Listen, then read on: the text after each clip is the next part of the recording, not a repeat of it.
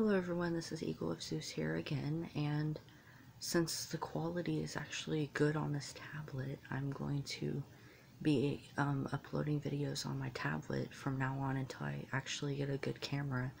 So I decided to make another video today, um, just a short one, and this video is going to be about a question I see asked a lot, like in Hellenic groups and stuff like that, and that question is, can you mix pantheons? For example, can you worship the Greek gods while also worshiping the Norse gods or the Egyptian gods or the Celtic gods or etc.? And the question is yes, you can if you feel called to multiple pantheons. Um, there's no reason why you can't, you know, mix pantheons and honor both Zeus and Odin, for example, or any other gods. Um, if you feel that's right for you, and if you feel called to multiple pantheons, you know, there's no reason why you can't uh, mix pantheons.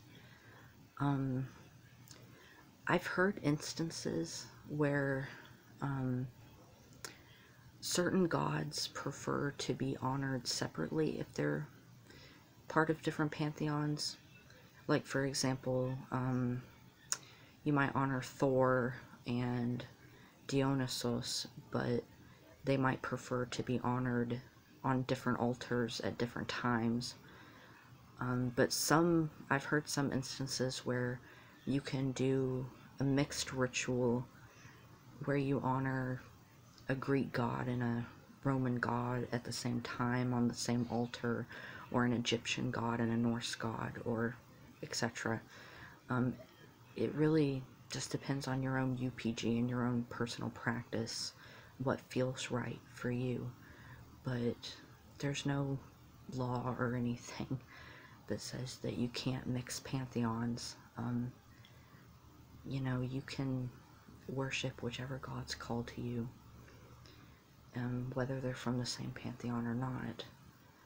Um, so yeah, that's about it. Really, this is a short video, but I see that question asked a lot.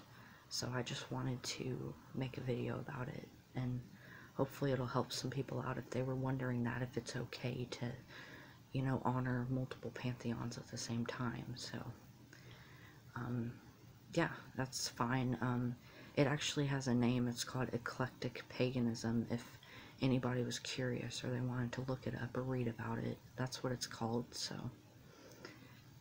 Yeah, I hope this video was helpful, and I will see you guys in the next video, and I will talk to you all later, and may the gods bless you. Bye.